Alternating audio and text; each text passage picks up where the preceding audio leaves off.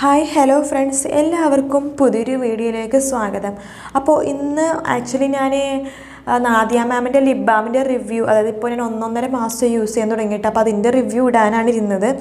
അപ്പോൾ എനിക്ക് ഇന്നലെയും ഇന്നൊക്കെ ആയിട്ട് ഒത്തിരി മെയിൽസും അതുപോലെ തന്നെ ഇൻസ്റ്റാഗ്രാമിൽ മെസ്സേജസും കമൻസൊക്കെ ഒത്തിരി വരുന്നു ഞാൻ ഒത്തിരി ഇതിന് മുമ്പ് പറഞ്ഞിരുന്നൊരു ടോപ്പിക്കാണ് അതായത് എനിക്കൊരു ക്രീം യൂസ് ചെയ്തിട്ട് കുരു വരുന്നു പിമ്പിൾ വരുന്നു എന്ന് പറഞ്ഞിട്ട് ഒത്തിരി കമൻസും ഒത്തിരി മെസ്സേജസ് മെയിൽസൊക്കെ വരുന്നതുകൊണ്ട് മാത്രമാണ് ഞാനിപ്പോൾ ഈ വീഡിയോ ആയിട്ട് വന്നിരിക്കുന്നത്. അപ്പോൾ നിങ്ങൾ ആരെങ്കിലും ഈ ചാനൽ ആദ്യമായിട്ടാണ് കാണുന്നെങ്കിൽ പ്ലീസ് സബ്സ്ക്രൈബ് സബ്സ്ക്രൈബ് ചെയ്യുമ്പോൾ കൂടെയുള്ള ബെൽ ബട്ടണും കൂടി ക്ലിക്ക് ചെയ്താൽ മാത്രമേ ഞാൻ എപ്പോൾ വീഡിയോ അപ്ലോഡ് ചെയ്താലും നിങ്ങൾക്കത് നോട്ടിഫിക്കേഷനായിട്ട് കിട്ടത്തുള്ളൂ. അപ്പോൾ വിഭാ ക്രീം പോലുള്ള ക്രീം ഞാനിപ്പോൾ ഒരു എക്സാമ്പിൾ പറയുകയാണ് വിഭാ ക്രീം പോലുള്ള ക്രീം യൂ ഓയിലി സ്കിന്നുള്ളവർ യൂസ് ചെയ്യാതിരിക്കുക. കാരണം അത് നല്ല ഓയിലി ആയിട്ടുള്ളൊരു ക്രീമാണ് അപ്പോൾ ഓയിലി ഒരു യൂസ് ചെയ്ത് കഴിഞ്ഞാൽ ഹൺഡ്രഡ് പെർസെന്റേജ് പിമ്പിൾസ് വരാൻ സാധ്യതയുണ്ട്. മുഖം ഒന്നും കൂടി ഓയിലി ആവും. അപ്പോൾ അങ്ങനെയുള്ളവർ ക്രീം യൂസ് ചെയ്യാൻ താല്പര്യം ഉണ്ടെന്നുണ്ടെങ്കിൽ ഒന്നില്ലെങ്കിൽ നിങ്ങൾ ഓയിൽ കുറയ്ക്കാനായിട്ട് എന്തെങ്കിലും സ്കിന്നിൽ ചെയ്യുക. എന്ന് വെച്ചാൽ ഓയിൽ കൺട്രോൾ ചെയ്യാനുള്ള മോയ്സ്ചറൈസിങ് ക്രീം ഉണ്ട്. അതുപോലെ തന്നെ ഒരുപാട് ഫേസ് വാഷ് പൗഡേഴ്സ് ഉണ്ട്. അത് കടലപ്പൊടി പയറു പയറുപൊടി ഇങ്ങനത്തെ ഒരുപാട് സംഭവങ്ങളുണ്ട് ഇപ്പോൾ. അപ്പോൾ അങ്ങനത്തെ എന്തെങ്കിലും യൂസ് ചെയ്തിട്ട് മാക്സിമം സ്കിന്നിലെ ഓയിൽസ് കളഞ്ഞിട്ട് ഈ ക്രീംസ് യൂസ് ചെയ്താൽ കുറച്ചുകൂടി എഫക്റ്റ് കിട്ടുമെന്നാണ് എനിക്ക് തോന്നുന്നത്. പിന്നെ ഒത്തിരി പേര് പറയുന്നത് ഏഷ്യൻ പ്രോൺ സ്കിന്നിന് ഈ ക്രീംസ് ഒന്നും യൂസ് ചെയ്യാൻ പറ്റുന്നില്ലെന്ന്.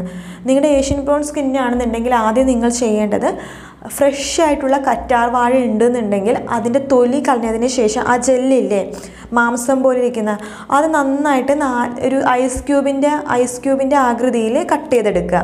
എന്നിട്ട് ഐസ് ട്രെയിനുള്ളിൽ വെച്ചിട്ട് ഒരു നാല് മണിക്കൂർ നിങ്ങൾ ഫ്രീസറിൽ വെച്ചതിന് ശേഷം അതൊരു ഐസ് ക്യൂബായിട്ട് കിട്ടും.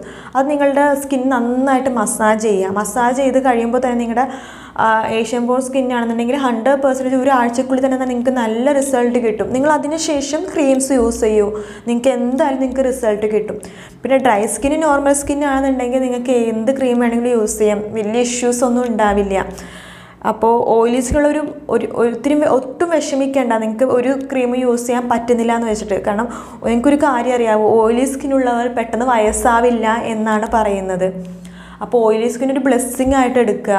നിങ്ങളുടെ ഒരു അനുഗ്രഹമാണത്. അപ്പോൾ നിങ്ങൾക്ക് കറക്റ്റായിട്ടുള്ള ക്രീം യൂസ് ചെയ്യുക എങ്കിൽ മാത്രമേ നിങ്ങൾക്ക് പിമ്പിൾസ് വരാതിരിക്കുള്ളൂ അപ്പോൾ എനിക്ക് തോന്നുന്നു സാഫ്രോസൺ വീക്കോ ടെർമറിക്കൊക്കെ ഓയിൽ സ്കിന്നുള്ളവർക്ക് ഓൾമോസ്റ്റ് യൂസ് ചെയ്യാൻ പറ്റുമെന്നാണ് എനിക്ക് തോന്നുന്നത്.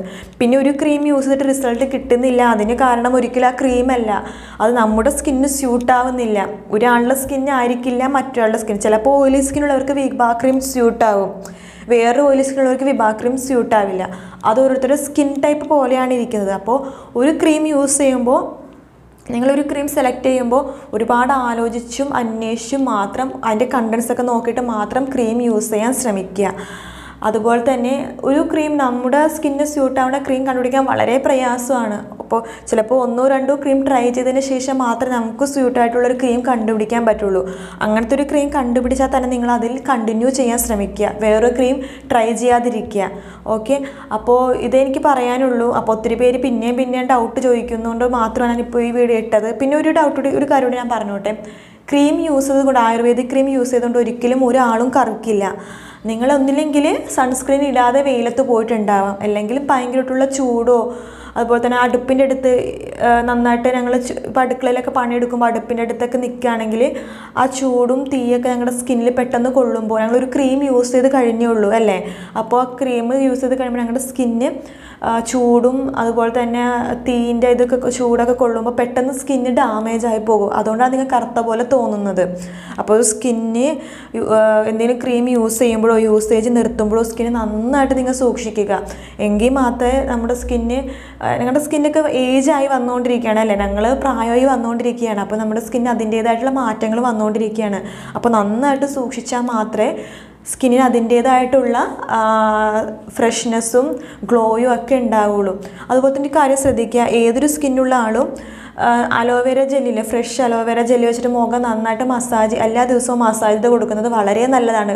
സ്കിന്നിന് പെട്ടെന്ന് റീഫ്രഷ് കിട്ടാൻ ബെസ്റ്റാണ് അപ്പോൾ എന്തെങ്കിലും കറുത്ത് ഒരു ക്രീമീസ് കറുത്ത് പോയവർ ഡാമേജ് ആയി പോയുള്ളവർ ഒക്കെ ഉണ്ടെന്നുണ്ടെങ്കിൽ അവർ കറ്റാർ വാഴ ഫ്രഷ് കറ്റാർ വാഴയില്ല. അത് യൂസ് ചെയ്ത് മുഖം നന്നായിട്ട് എല്ലാ ദിവസവും മസാജ് ചെയ്യാൻ ശ്രമിക്കുക കേട്ടോ.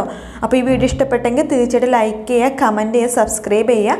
സബ്സ്ക്രൈബ് ചെയ്യുമ്പോൾ ബെൽ ബട്ടണും കൂടി ക്ലിക്ക് ചെയ്യാൻ മറക്കരുത്. എങ്കിൽ മാത്രമേ ഞാൻ വീഡിയോ എപ്പോൾ അപ്ലോഡ് ചെയ്താലും നിങ്ങൾക്കത് നോട്ടിഫിക്കേഷനായിട്ട് കിട്ടത്തുള്ളൂ. അപ്പോൾ മറ്റൊരു വീഡിയോ വീണ്ടും കാണാം ഫ്രണ്ട്സ് അതുവരെ ബൈ ബൈ.